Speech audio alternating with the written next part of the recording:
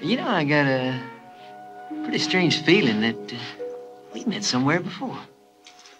I'm afraid you're right. Uh, it was in front of a preacher. I had said yes, but you didn't say anything. And when I turned around, you were running like hell out of the church.